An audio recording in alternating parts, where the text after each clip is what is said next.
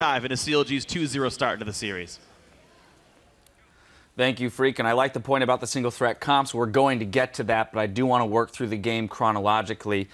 We saw pretty big CS discrepancies in the top lane in favor of Team Impulse and in the mid lane in favor of CLG. And I kind of want to dissect how those came about in these individualized matchups. Uh, the one in mid lane, I think, actually had a really large impact. You know, CLG when they got Pobelter, they're like, this is the damage that's going to show up to the fight. So if you give him this large CS advantage, it pays off. Gate, he's in the regular season, he ended up being 12 out of 14 at CSD at 10, being down almost more than anybody else. I think Shiphtur was the actually he's 14th. He was dead last. That's right. Gate was dead last. Shiphtur was number 12. Mm. So what they did is they exploited that. They sent Xmithie mid one time, got the flash off of the Pobelter Shockwave, and Pobelter just kept winning, not even trades. He just kept harassing him kept throwing the Q and the W, clearing the wave, and simultaneously poking him down. So it was honestly big misplays there by Gate because he seemed like he was trying his best to exert pressure, but it's almost impossible to do on a Lulu that's playing defensively. So it was very, very strange. But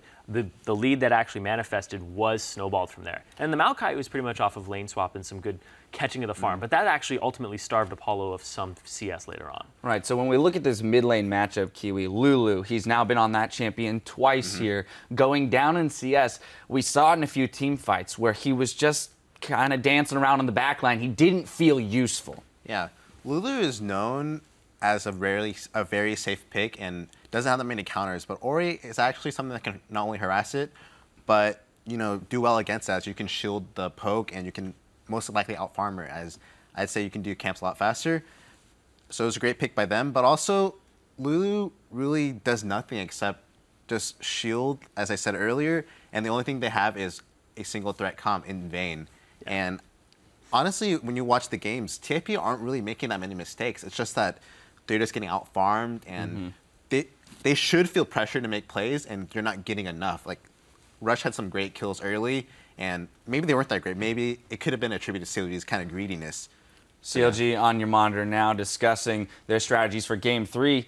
I mean, starting out 2 0, they've got to have, have a lot of confidence. But this does point to you know, tip needing to make a make a change here because what's working for CLG is working. And we, I want to go back to this kind of single threat idea here because a lot of weight is being put on Apollo's shoulders. It didn't work out in game one. It didn't work out in game two, although he did play pretty fantastically yeah. here in game two. Let's let's not forget. Yeah, his positioning in team fights, he's playing out of his mind. But both AD carriers are playing really highly this entire series. I did expect to see the Viktor here instead of the Lulu. Mm-hmm. When we were going through Champions Select, when they banned the Azir, we thought CLG was going to take it, but then I really expected Tip to pick it up instead of the Lulu because I feel like that's what they need. They need that wave clear. Yeah. They need that instantaneous wave clear. And then paired with the Braum, when I saw Braum first pick, Braum Viktor is amazing at wave clearing and staving off sieges because mm-hmm. he just stands in front. You're not going to do any damage, and then you just instantly clear.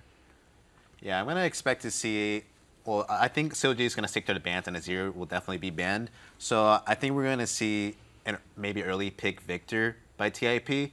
CLG didn't really favor it, as we saw, as they didn't first pick it as well. So maybe we'll, we might see it late, but I feel we will not definitely see Lulu. Right. It makes you wonder whether or not this points to a lack of confidence uh, that the team has in Gate and his ability to play, or even his own confidence in playing other things. You know, why are they coming back to this Lulu over and over again? And if he isn't comfortable moving off of that and they do need another carry threat, do they look towards Impact in the top lane? Say, enough of the tanks, let's get him onto something that can really roll. I feel like his best bet is probably get him a Gnar so he can have the best of both worlds and actually mm-hmm. have split push pressure I think if you ban, I even like let Olaf up against it is fine, or ban Olaf. That's what that's a big thing this series that I'm like, okay, they're letting Zion kind of get whatever champion he wants, no problem, and then he'll get counter picks sometimes, and that's actually very alarming because when you have the Gnar into the Maokai, you're gonna have a really good time. And then they keep doing that over and over again, and they don't really save Impact, and they're putting them on these tanks. I don't want to see that happen again. I want to see more threats. I want to see mm-hmm. TIP have more avenues to win the game. Yeah, well, and normally when you think about Tip, Kiwi, we think of Rush as being one of the huge threats. Yeah. He did manage to secure mm-hmm. the Lee Sin for himself this time around, but mm-hmm. the Nidalee being banned out in this series, I do feel is hindering them in their ability to present an extra threat. Yeah, I feel the most impact will go as like you said, but he might pull out a Rumble. But I think if I was in their shoes, I would go back to the Shen. They played Shen three games against us. I know they play a lot of Shen during scrims. They're really comfortable honestly, they had a really sizable lead the first game. I think if I were them, I would pick Shen again and have a threat mid and see how it goes. All right, some things to look forward to. CLG are just one victory screen away from playing in the finals at Madison Square Garden. After this break, we'll jump into game three to see if they can get it done. Don't go anywhere.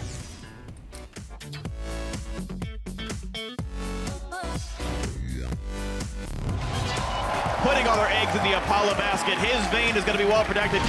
Can he carry him out? Here we go with game two. Like, you make a good enough play. There's a flash kick and a Q. He's got it. Oh, my Perfect God. play by Rush. He knew he could take it. Looks for a lot. Rush can only do so oh much, but oh my God. A double kill and Apollo's still going. A flash. Fight, fight, fight. I'm coming, coming. Watch out for Three Orianna. side, Watch out for uh, Orianna. Oh, wait, wait, wait, wait, wait, Orianna. I'm slow. I'm sh- tanky. Kill front line. I'm Orianna.